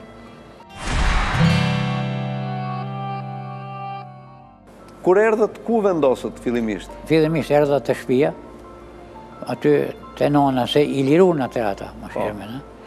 Edhe mu m'çun në Mirditë mësus nja dy vjet. Mas dy vjetë atë nuk, thashë, s'kam si shkoj, prej Vermoshit me shku në Mirditë. Se mhm. s'paska nonji shkollë, atëherë mas nja disa kohëve, më caktun afër Shkodret, mësus. Derisa na kanë internu familjarisht atëherë. Na kanë internu të tanë, na kanë çu në Bushat. Në vitin 1963 u arrestuat? Në më arrestuen mu. Kiherë kanë arrestu babën, e dënun 18 vjet burg. Kam pa aty një diçka që kam lexu, Akuzën e tina, ose kur ka dalë n'gjyq, a ishte një akuzë komplet, komplet falso, falso, falso. Për çfarë e akuzuan babain? Jo, ke ardhë, ke hi, ke dalë, ke hi, që s'ishte vërtet aspak. As kishte hi, as kishte dalë, as kurrgja hiç.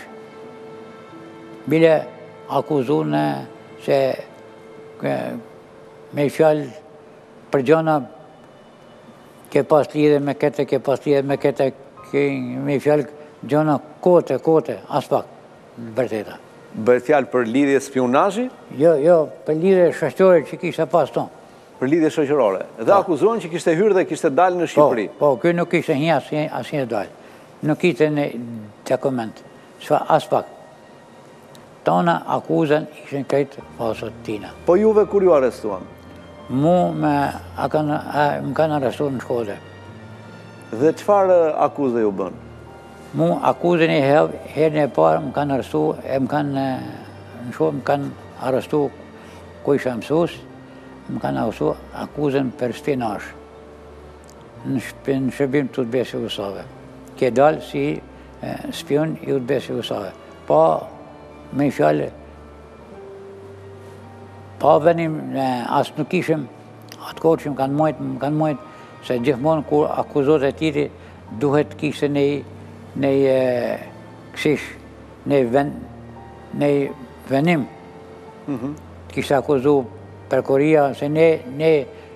Në fakt, ne nuk na ka akuzu prokuroria, po Sigurimi i Shtetit. Në arrestimin, unë e kishem pa kurrgja hiç, veç për fakte se ti ke ken, ke punu n'shërbim të UDB-së jugosllave. Edhe u munun me pru pru disa njerëz, një kosovar, edhe edhe ky më provokoi, ka ken një Pashko Camaj. Me i moni zi, fakt ishim kënë në shkollë me te, edhe mundet ky me ba qind provokime, provokime mas provokimesh. Ky, domethënë më thrasin këta, se sigurimi atëherë mu më ishte qepë, e dojnë vetëm me ditë, me zbulu, mos ka ardhë me spiunazh. E më bijnë një profesor, Prej Kosovet, që kish pas profesor një farë Ali Hadrit, unë nuk nigjova m'u taku me të. Këtu që kanë çu, më kanë marrë, më kanë çu në Tiranë, më kanë thirrë me gjithë axhën, edhe kam kënë në hotel Volga, quhet ai vend, edhe aty, te hotel Volga ishin dy tavolina, Njëna ishte me mulesë, tjetra pa, pa mulesë. Edhe kur e kam pa këtë me mulesë, pashë do tela nën te. Edhe më banë mu, do pytje, thonë, jo është mu. E ke njoftë Nik Sokolin, një farë, i Mërturit, ka pas ken, ati, e kam njoftë, thom, Kosovë, po unë s'kam pas punë me te. Me djalin e tij jam kënë shkollë, po me këta jo. Shti, ne se na jena kënë Studentë është. Ne s'jena marrë me asë edhe politiket. Veç studenta, është. Më thonë atë, me nejt aty, me fjetë atë natë nuk nigjova. Me fjetë, edhe shkum ne. Mirëpo, kjo, këtë historinë e kësaj gjatë duhet, kur shkova në burg, që shkova në burg në Spaç, më thonë dy prej Kukësit, ishin dënu njeni 22 vjet, njeni 25, Po kështu ja kishin ba edhe atyne, kishin bisedu me sa aty, njëri-tjetrin, në bazë të inçizimit i kishin dënu. Unë për fat të mirë një aty pështova. Se jo, po s'ishim marrë, po ta mundëshim e ta po. Atëherë më ka thirrë prapë, me si menshme, jo a nejnë, këte në m'u taku me njërë tjerë, s'kam nigju m'u taku, Bile bile aty nuk e kam thanë, se jam çu kam hi n'shtrat, kam hi në, më thonë, kemi fjetë në këtë hotel, fjetë në hotel, jam çu 12 natës më kërset dera, kur ka ardhë një femen. Më ka thanë, përse ke ardhë ti këtu?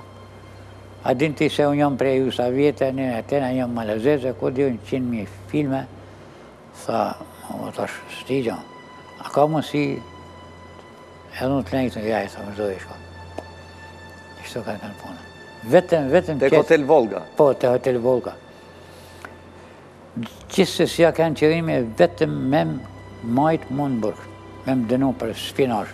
U lirova nga spiunazhi, s'patën ça me ba. Për munges provash? Për munges provash, mhm. Atëherë më kanë arrestu në 76-ën. Po në 76-ën me çfarë akuze? 76-ën akuzën agjitacion e propagandë. Dhe sa ju dënuan? M'kanë dënu 8 vjet burg. Në të vërtetë kishit folur? Po nuk kishim folë sepse, nuk kishim folë se unë e dishim, po aj mund të ketë me ne kam pas, ose ai një tjetër më ka pytë, si asht Jugosllavia, kooperativa, sa kooperativa, ferma, mund të kemi thonë në njëtë, është privat. Mhm. Pra, s'është kooperativë, po...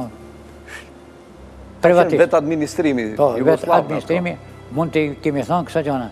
Po, ne këto gjana e dishim, se u bajshin këto gjana.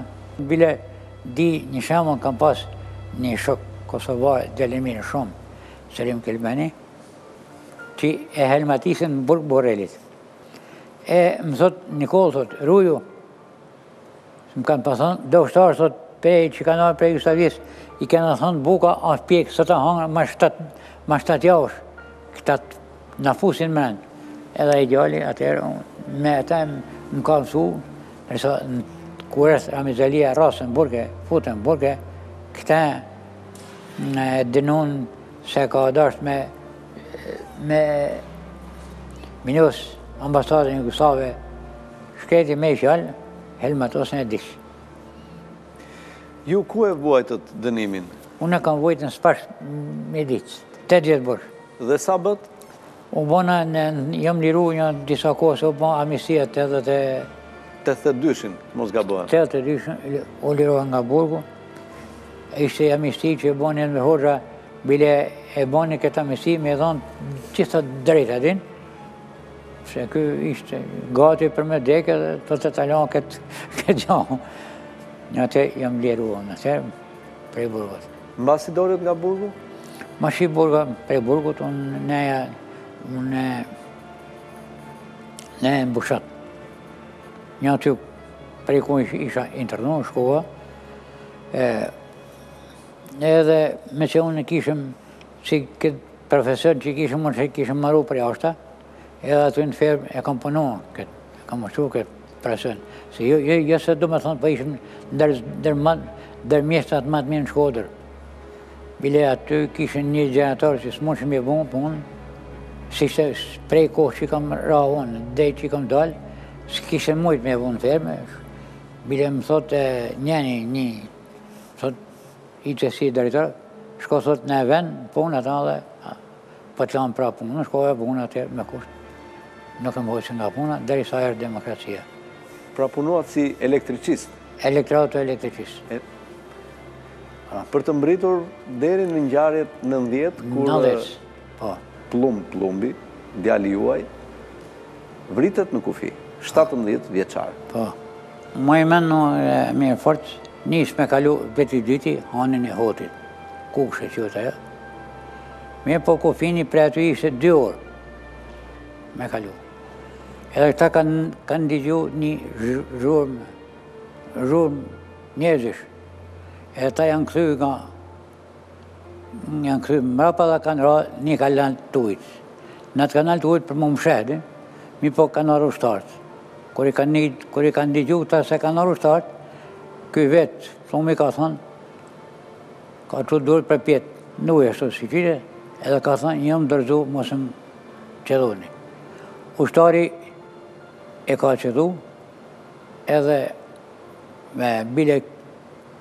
E ka qëllu aty për aty, pa i thonë ndal as kurrgjasend.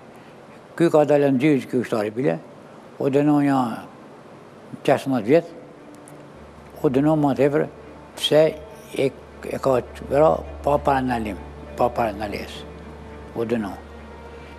Djali juaj ishte me një shok, kur tentoi të arratiset? Po ishte me shok, po ai shoku pështoi, se doli ishte ma i Ma i zhdërvjellt edhe doli prej kanali ujt edhe u fut në ferra. Cili ishte ky? Ky ka Marian Zef Ndoja quhet. Edhe pështoi ky. U plagos, me plagos e plagosën, e kanë çu në spital, mas spitalit, E kanë dënuar një dy tre muaj burg, bazë ligjit. Ju e keni takuar këtë? Bepin po.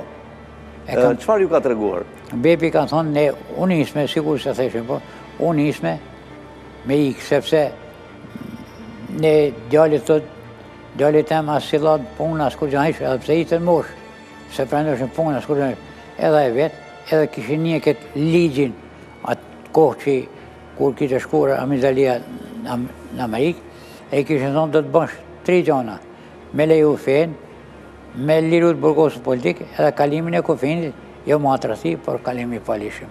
Edhe kur kena nie këto fjalë, ne atëherë kena thonë, po ikim me fjalë, po ikim shtetet pranë more, bile djalit aty kanë marrë dy, dy adresa, Të ikte mshehtë prej nesh, mshë, marë i zonë, të dajës edhe të kushrinit që ishin në Amerikë.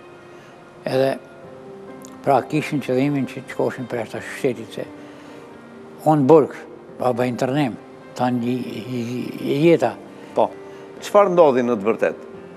Ku u qëllua djali juaj? Ashtë qëllu përpara, përpara. Edhe prej Aty e kanë xjerrë prej kanalit të ujit një ashton. Po? Që që që që dhumë, edhe e kanë qitë në stom. Aty në stom, e kanë pa këta ushtarë se është gjallë. Ishte i gjallë. Edhe nuk kanë tentu aty me qëllu ma ushtarët ishë. Ka ardhë komisari, edhe i ka thanë, gjallë kenke ti pas kështu, që bëjë qenit, si thonë, Hoti aty, se janë kenë njerëzit të Kjo ka kenë lagje Kushe. Edhe ky ka kap pistoletën e i ka ra pistoletë në ballë. Ashtë në fotografi, ma ma burë, tha, pse më vrave.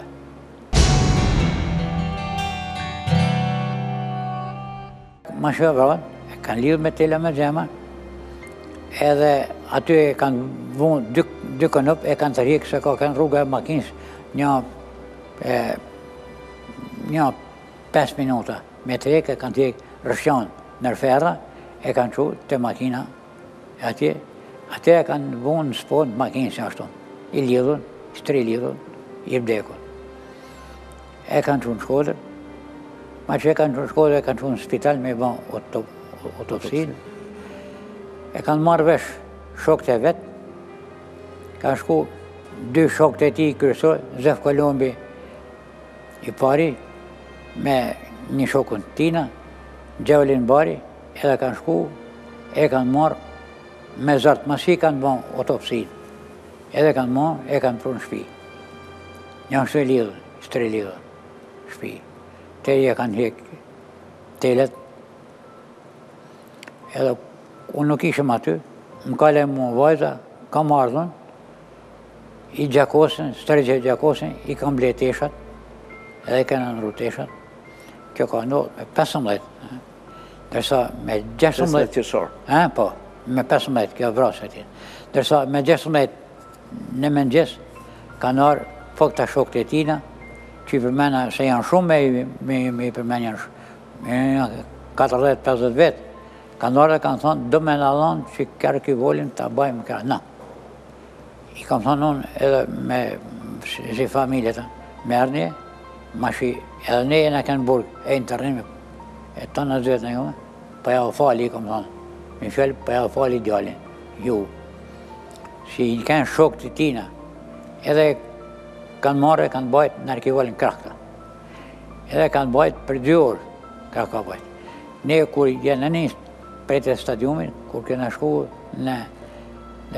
para turizmit, janë nalë, edhe ka thonë poshtë komunizmi, poshtë Ramiz Alia, poshtë Nexhmije Hoxha, shifni, shifni u ka thonë, se aty fatmirësisht në atë moment vinë dy makina me, autori, me autobuza prej Ulqinit, shqiptarë. Edhe këta kanë filmu, e tu thonë, Shih ça po ban Ramiz Alia po na i vret djelmt tan n'kufi pa hak pa hile edhe kan shku këta atëherë me rrugs tu than njato fjal tu sha prej aty në Stom Golemit aty para se me shku në Stom Golem ishte korpusi ushtris ta kishin pas urdhën nga korpusi që me i nalu. Mirëpo, aty kur don zoti me të nimu, djali i atij komisarit ishte bashkë me ne. Edhe kur ka pa djalin e vet, nuk i ka nalu, kem shku edhe i kem shku në Stom Golem, i kem varros. Ka pas shumë qytetar nga Shkodra në Ka pas nja 300 vetë. Tan rruga a ken blloku, Makinat janë ken blloku, sigurimi shtetit me urdhën të ministrit mrenshëm Simon Stefani e kryetarit degës, kanë hi mrena ne edhe kanë fi filmu ata. Masi kemi varros të kanë ikë tanë poshtë. Në 12 natës kanë arrestu 40 vetë, se ka thonë me urdhën ministri mrenshëm të arrestoni gjithë organizatorët. Kanë arrestu 40 vetë, Mrenë e kanë majtë disa muaj. Mirëpo, këtu tash ishte problemi se hetuesia edhe në shumë gjona i ka dalë kundra ministrisë mrenshme. Mre mrenshme, i ka thonë, unë nuk mund t'i maj shumë, si në baltë, se ka dal ligji që është kalim i paligjshëm i kufinit, së nuk mund t'i maj mrenë. Duhen O me i liru, o me i dënu, se akuzën e kishin përmysje e pushtetit me dhunë. Edhe atëherë, Ministria e mrenshme u detyru me i liru.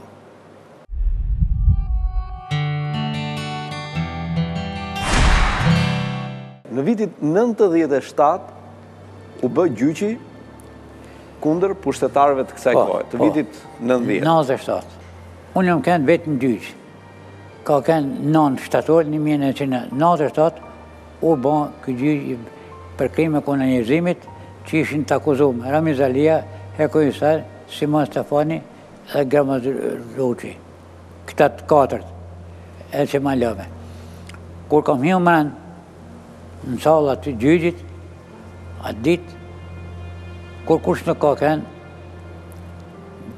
Dëshmitar, ka kenë 58 akuza për këta vrasjet. E ja çojnë fotografinë, ja kallzojnë këta një Koçit.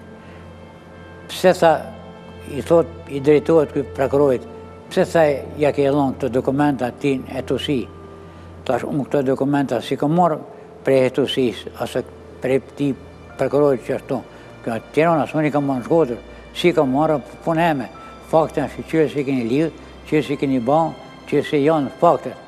Po me e pa djalin tënd i ka ba kështu. Mirë të ma pas kenë vra. Po me e lidh me tela me gjemba e thëmë kështu. A këban qe fotografia. Atëherë i kam thonë, t'ja bajnë djalin tënd kështu. Si thu ti, atëherë ky nuk ka folë. Nejse, Henri Koçi, është du. Shtila. Dikush e vrave, a i të lamarë.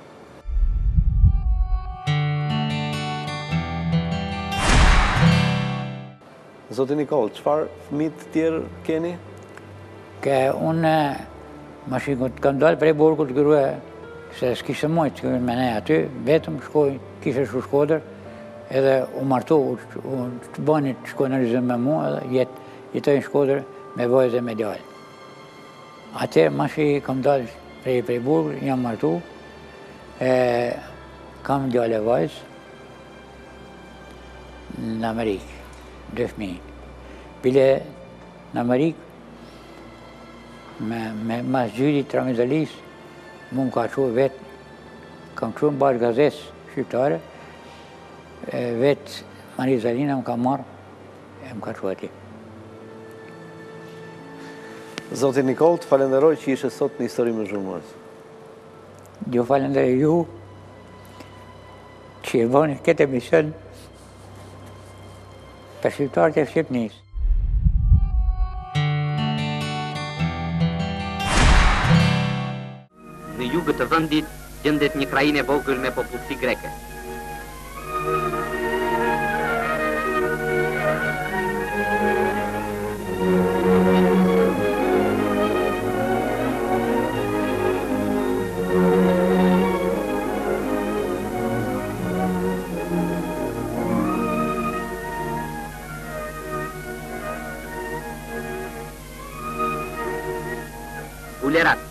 një nga fshatet e kësaj krajine. Banorët e Buleratit kanë shkollat e tyre, klubet dhe gazetën në gjuhën greke. Ata jetojnë në vendin ku nuk njihen grindjet dhe dallimet nacionale.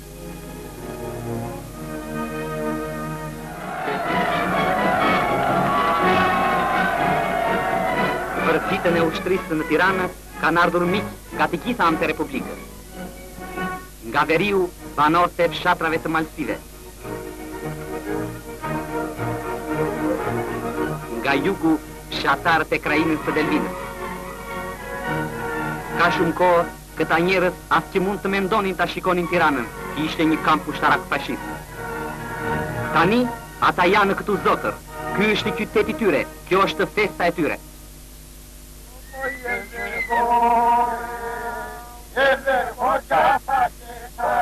Kështu heqin valle në Kurvelesh, në krahinën që u mbulua me lavdi gjatë viteve të rezistencës. Në krye është plaku Abas Tito, ai ishte në krye dhe në sulmet partizane.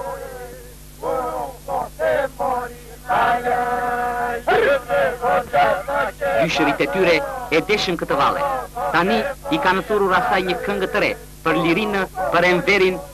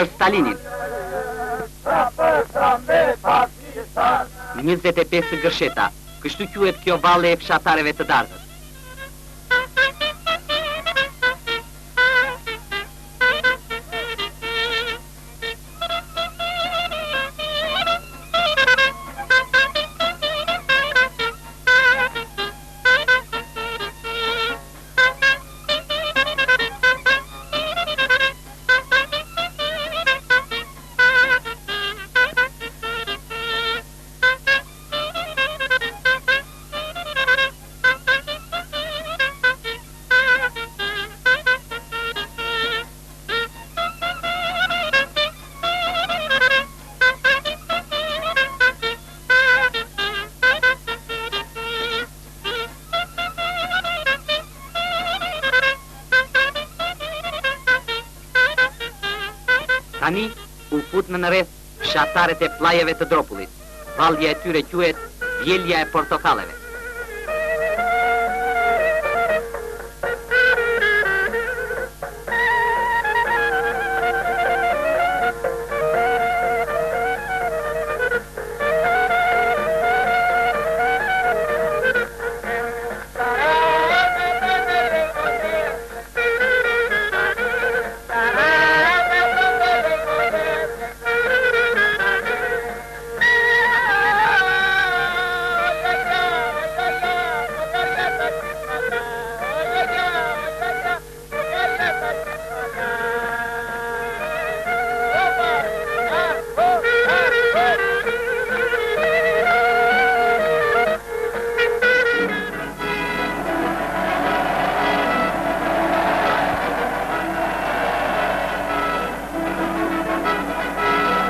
Kjo rini është mbledhur për të filluar ndërtimin e udhës së hekurt Tiranë-Durrës. Djemtë e vajzat që luftuan dje kundër fashizmit në radhët e para të ushtrisë çlirimtare tani rrëmbyen armët e reja.